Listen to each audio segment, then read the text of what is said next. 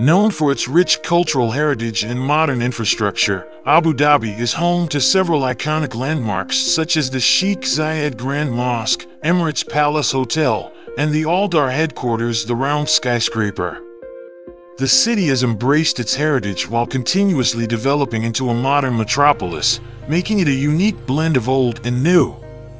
As part of Abu Dhabi's commitment to promoting cultural exchange and education, the city has started developing an island which will be home to several world-class museums and cultural institutions. This billion-dollar new development will showcase some of the most futuristic museums in the world. From environmentally inspired designs to virtual reality exhibits, these architectural masterpieces will breathe new life into UAE's already booming tourism industry. Saadiyat Island is a man-made island that is positioned just 500 meters off the coast of Abu Dhabi. It is expected to become the city's cultural center upon completion, consisting of museums, schools, housing districts, and leisure activities. The island is easily accessible, with just a 5-minute drive from downtown Abu Dhabi, 20 minutes from the main airport, and 1 hour from Dubai. Divided into 7 districts, the island will eventually house over 145,000 people. The cultural district occupies only 10% of the island's total area, and this is the district that would host the island's museums. The plans for the island were first envisioned in the late 1990s by the Abu Dhabi Tourism Authority.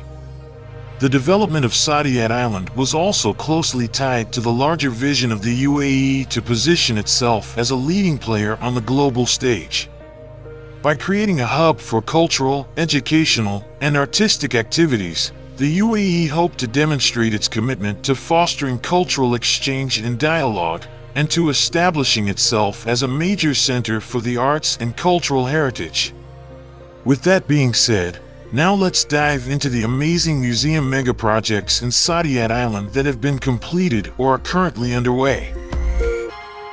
One of the highlights of Saadiyat Island is the Guggenheim Museum, a spectacular symbol of cultural exchange between the UAE and the rest of the world. Designed by the renowned architect Frank Gehry, the Guggenheim Museum in Abu Dhabi is a beautiful example of his signature style of organic flowing lines and shapes. The museum takes inspiration from traditional Middle Eastern courtyards and wind towers for cooling in the desert sun. The building is shaped like a series of overlapping discs that appear to float on the water, creating a stunning visual effect. The museum's galleries are arranged around a central atrium, which serves as a hub for visitors and provides natural light for the exhibitions. This museum is set to be the Guggenheim Foundation's largest facility, and it's first in the Middle East. With 130,000 square feet of exhibition space, it includes exhibition galleries, research and education areas, a conservation lab, a center for Arab, Islamic, and Middle Eastern culture, and a center for art and technology. The museum will be owned by Abu Dhabi's Tourism Development and Investment Company and managed by the Guggenheim Foundation. The project was announced in 2006 with construction commencing in 2011, but was soon halted due to delays. But the project is now well underway with the completion date set for 2025. Known as France's largest cultural project abroad, the Louvre in Abu Dhabi spans 260,000 square feet, with 86,000 square feet of galleries, making it the largest art museum in the Arabian Peninsula to date. It showcases artworks from around the world, with the aim of bridging Eastern and Western art. By 2019, the Louvre Abu Dhabi received 2 million visitors, making it the most visited museum in the Arab world. The museum operates under an agreement between the UAE and France, allowing the use of the Louvre's name until 2037. Abu Dhabi's version of the iconic Louvre opened in 2017 after eight years of construction and a budget of over $1 billion. Designed by Jean Nouvel, the museum features a floating dome with a web-patterned roof to let in sunlight, symbolizing rays of light through date palm fronds in an oasis. The building's geometric dome is an impressive 590 feet wide and made up of almost 8,000 overlapping metal stars. It also weighs around 7,500 tons, similar to the Eiffel Tower's metal frame which weighs about 7,300 tons. In addition to the magical atmosphere the dome creates, it provides shade to the museum keeping the art and the guests protected from the heat of the scorching sun. Also, the geotechnical and water engineers have designed a waterproof basement and tidal pools within the galleries to give the illusion of a museum in the sea while protecting the art and visitors from the marine environment. The complex includes 55 buildings, 23 of which are art galleries, designed to resemble traditional low-rise homes of the region. As a tribute to the UAE's founding president, the late Sheikh Zayed bin Sultan Al Nahyan, the Zayed National Museum is the first museum that was built on Saadiyat Island. Its architecture blends modern efficiency with traditional Arabic design and hospitality, reflecting Sheikh Zayed's legacy and love of nature. The museum is set in a landscaped garden based on a timeline of his life, with galleries housed in a man-made mound and placed at the base of five solar thermal towers. The towers heat up and act as thermal chimneys, drawing and cooling air currents to circulate through the museum and keep it cool. The air is captured at low level and cools through underground pipes before being released into the lobby. The Zayed National Museum features sculpted, lightweight steel towers shaped like bird feathers to reflect Sheikh Zayed's passion for falconry. The indoor spaces open up to an outdoor arena for bird displays and a gallery dedicated to the subject of conservation.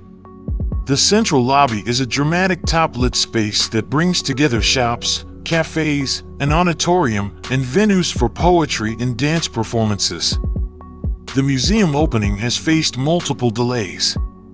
Originally set for completion in 2012, the opening was pushed back to 2013, then 2021, and as of today it's still under construction with a planned opening in 2025.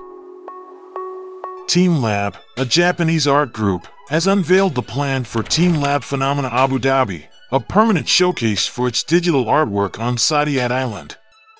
At this museum, art and technology will merge in an experimental facility where guests can see, touch, and even walk inside of digital art.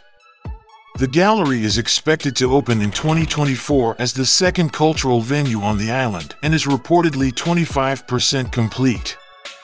The exterior of teamLab's Abu Dhabi Museum is being conceived as a white sculptural block, with a sloping wavy roof and a ceremonial staircase and raised plaza. Other than the entrances and a terrace on the first floor, there will be zero windows in the building. Inside, galleries of different sizes will display digital artwork that changes and evolves through the participation of the museum's guests. The exhibits themselves will also change often, so guests will experience something completely unique each time they visit. Abu Dhabi also unveiled plans for a natural history museum in Saadiyat Island, which will feature some of the rarest wonders of natural history ever found.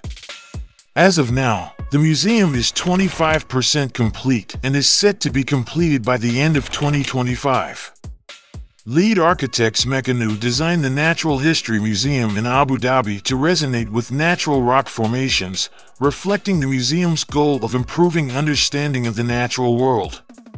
Every element of the design uses geometry as an overriding theme, with pentagonal shapes resembling cellular structures, the building blocks of life.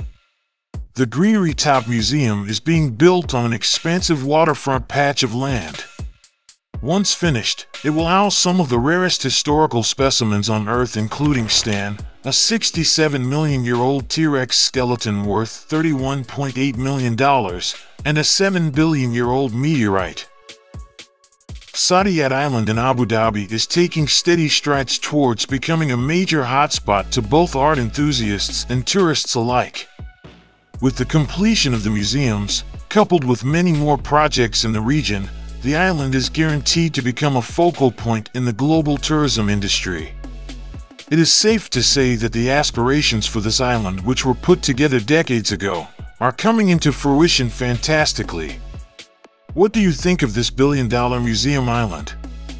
Comment your thoughts below. Thank you for watching and see you soon in the next video.